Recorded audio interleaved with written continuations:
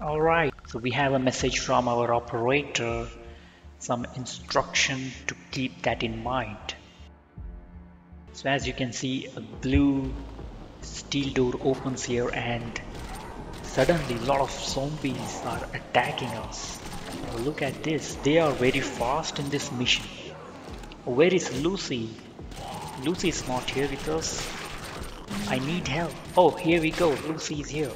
Yeah, Oh my god, there are so many, so many zombies. It's like a zombie apocalypse.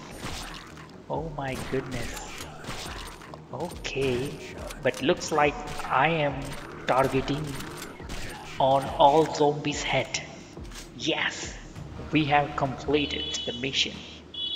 Thank you, Lucy. We'll see you in the next mission.